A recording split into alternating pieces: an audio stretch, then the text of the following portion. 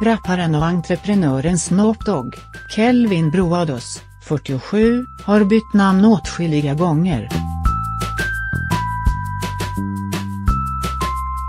Under olika faser i livet har han gått under epitet som Snoop Doggy Dogg, Snoopzilla och Snoop Lion. De senaste dagarna har han publicerat kryptiska Instagram-inlägg där han går under ett nytt namn, Små Otdog.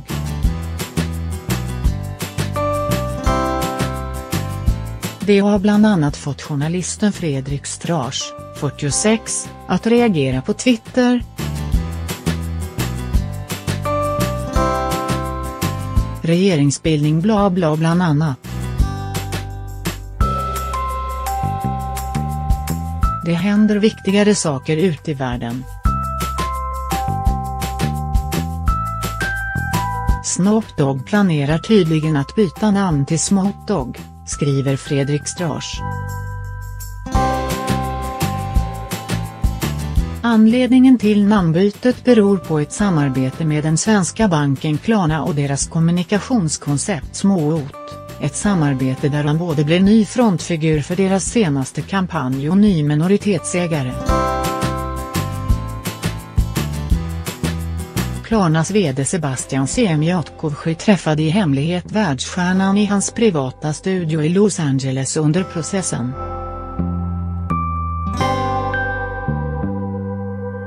Klarna hörde av sig och berättade att de var fans. Vi bokade in ett möte där de berättade om sina planer och därifrån inleddes samarbetet, skriver Snoop Dogg i en kommentar till Nöjesbladet. Samarbetar med sin pappa.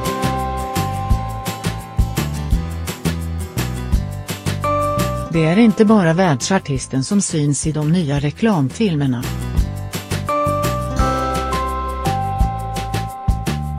Även den amerikanska Youtube-stjärnan Cheva Chase, 20, är med på ett hörn. Och Snoop Doggs pappa Vernell Varnado. Han har en hel del svag och jag vill alltid hålla det inom familjen. Snoop Dogg berättar att målet är att utöka sina techinvesteringar i Europa, och genom att sprida små och budskapet hoppas han att hans Europa-investering ska hjälpa honom och Klarna att nå nya höjder.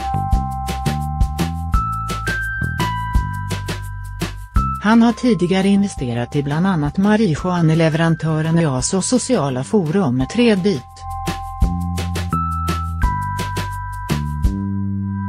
Klarnas marknadschef David Sandström är nöjd med det nya samarbetet och beskriver det som något större än ett influencersamarbete i Sverige. Han vägrar då berätta något om storleken på Dogs investering. Sådana detaljer går vi inte in på, säger han. David Sandström gläds dock över den nya och världskända investeraren. Att som svenskt bolag få äntra den internationella scenen med en sån person som backar upp, det är jäkligt roligt. Klarna har tidigare slutit avtal med IKEA och genomförde i höstas sitt och största partnerskap med H&M, som enligt Financial Times gick in med 185 miljoner kronor för mindre än en procent av bolaget.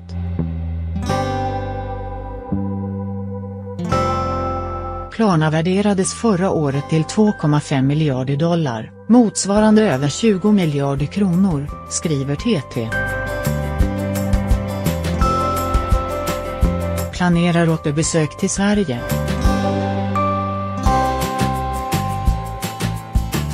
Snoop Dogg har inte spelat i Sverige sedan 2015.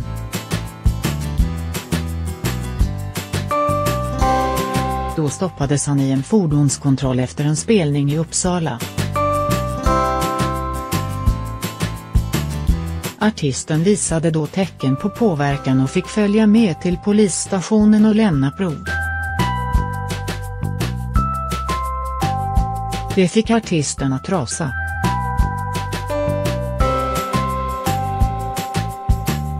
I flera videor på Instagram berättade han att han kommer att bojkotta Sverige i framtiden.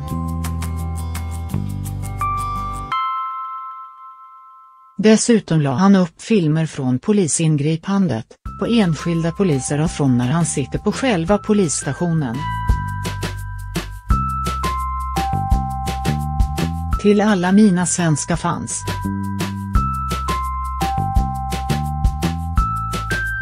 Ni kan skylla på er polis, att ni aldrig kommer att se mig igen i ert vackra land. Det är alltid några idioter som förstör för alla.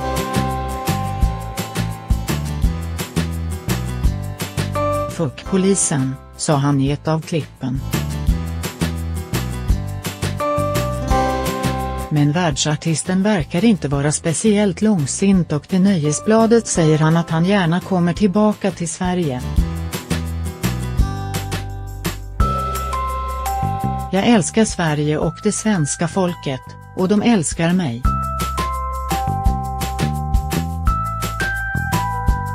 Jag måste komma tillbaka snart.